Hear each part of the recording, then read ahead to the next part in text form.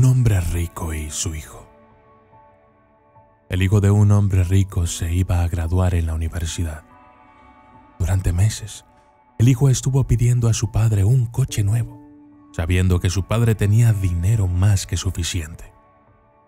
Cuando llegó el día de la graduación, el padre del joven lo llamó al estudio.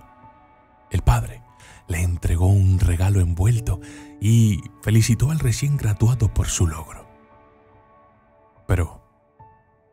Cara de decepción, el hijo abrió el regalo y encontró un precioso diario encuadernado en piel, con el nombre del joven grabado en la portada. Levantó la voz con enfado, tiró el diario y se marchó enfadado.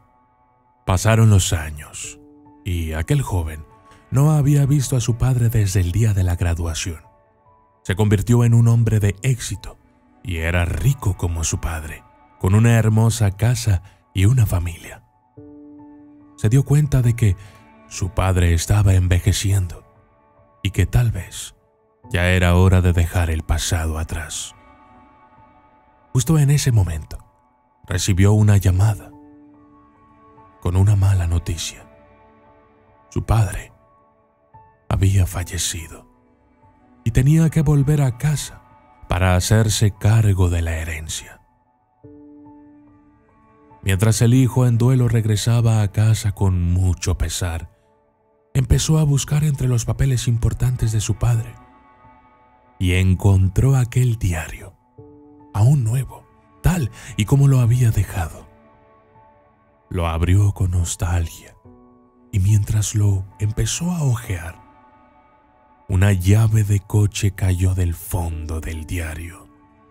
En la llave había una etiqueta del concesionario que decía, pagado en su totalidad. Donde quiera que te lleve este coche, escribe sobre él para recordarlo siempre.